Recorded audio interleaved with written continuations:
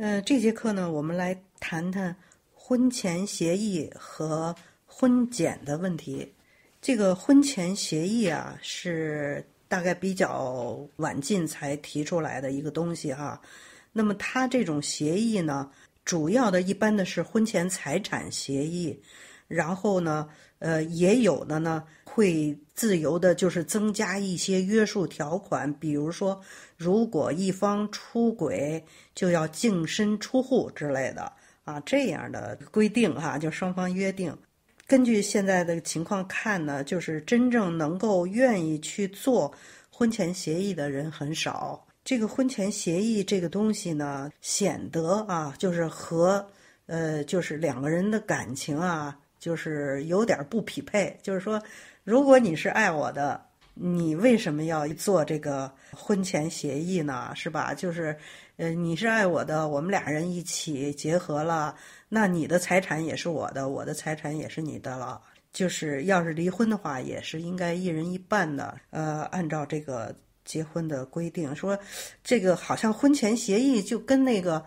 还没结婚呢，就先想着离婚似的，所以它会成为一种人们心理上不愿意去做这个婚前协议的一一种障碍，是吧？比较有钱的一方呢，也还是说，那你要是不是为了我的钱，那你为什么不愿意做呢？这也是一个，就是有钱方和没钱方，这个他们都是会处于一种比较纠结的状态，哈，就是如果去做呢？就显得好像很生分的样子，就是，嗯，说的爱呀什么什么这些，好像都是一种漂亮话，实际上还是你是你，我是我呀，或者什么的，没有合为一体啊，什么在财产上也没有这种，呃，真正的要合为一体的这个意思，是吧？好像他和。就是我们所倡导的为爱情结婚，就是俩人这个都说的时候，婚前肯定也是会说感情非常好啊，什么什么之类的，好像有一种张力哈，这中间有一种矛盾的这种心理哈，就导就会导致就不愿意去做。其实，可是我们有时候会看到有这样的情况啊，比如说一个比较穷的人和一个特别富的人。这个去结婚哈，就是两个人差财产地位差得很远，那么这个这个穷的这一方呢，就会主动的提出我要婚前协议，那这个就显得就是特别的高尚哈，就是说他是说我肯定就是不是为了你的钱，他就等于声明了我不为了你的钱，我是为了你这个人才跟你结婚的。如果说哈有一些。这个婚前协议实际上是不是就是那个比较没钱的那一方哈？他的姿态比较高，而且他的动机比较纯，就是说确确实实是为了对方的人哈，为了感情结婚的，而不是说为了对方的钱，所以他就不怕去签这个婚婚前协议，甚至会主动的提出要签这个婚前协议。到目前为止，我们看到这个这个东西并没有什么太多的发展哈。呃，这个婚检的问题呢，实际上中国咱们一九九五年开始实行这个强制婚前检查，到二零零三年的时候呢，就取消了强制婚检。这个当时取消的原因也是因为各方面反映有很多问题哈，就是说。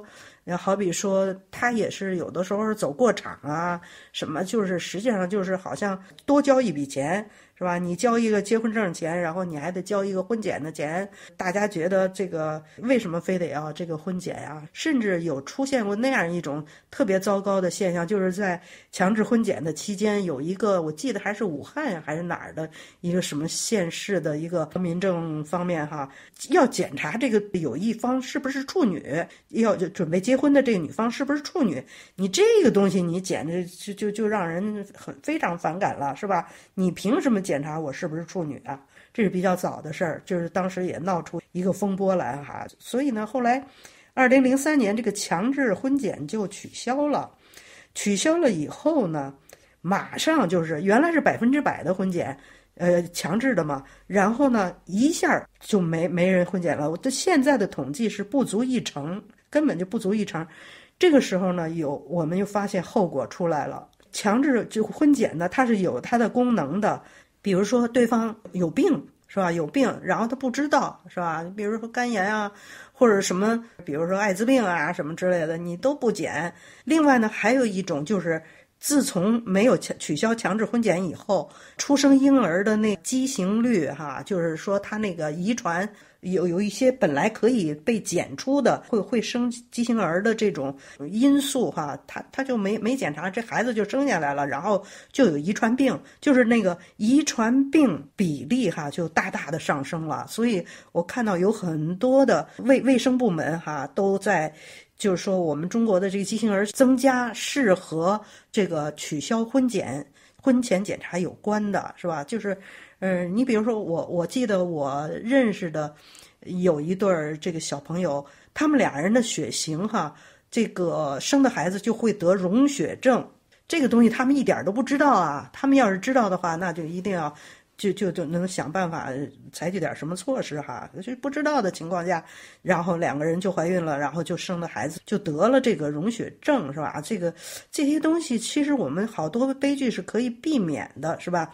所以呢，现在有很多的这个地方呢，他要求就是就给你免费的去你领结婚证的，或者结婚之前呢，都可以去免费的这个领取这个。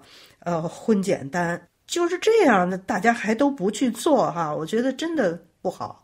那么这里面呢，我觉得也有一种什么，就是大家也有一点那那种跟那个婚前呃协议的那个意思，好像是我对对方不信任似的，好像就是说我要求你去婚检，什么看看你有病没有啊什么。大家其实不必，就是由于碍着面子哈，不愿去婚检，或者是说。呃，这个嫌麻烦是吧？万一你们俩的这个怀孕会导致这个遗传疾病怎么办？是吧？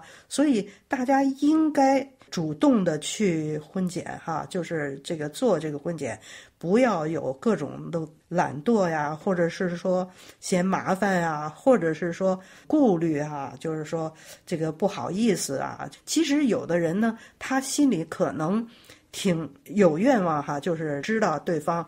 比如说那种不是特别特别了解哈，特别特别两个人已经就是无话不谈的那那种关系哈，就就是对于他的那个到底有没有什么呃什么病啊什么的，自己心里也挺想让检的，但是又碍于面子不想去去搞这个婚前检查，是我觉得这样这样都是不必要的，是吧？呃，要对自己负责，要对孩子负责，将来是吧？应当是一定要去做婚前检查，咱们应该争取哈，就是说，我看到有一些地方的这个，呃，计生就是这些相关部门会提出什么，到二零二零年要把这个婚前检查的这个比例提高到百分之八十，那我们现在才不足一成是吧？才不足百分之十，要提提高百分之八十，其实咱们应该把它。能不能争取提高到百分之百，是吧？就是，呃，来，大家都是出于这种不要有各种各样的顾虑哈，一定要出于对自己的婚姻负责啊，对孩子的负责，对将来孩子负责，然后呢，一定要去做这个婚前检查。呃，那么今天这个题目呢，就讲到这儿，感谢大家的收听，咱们下节课再见。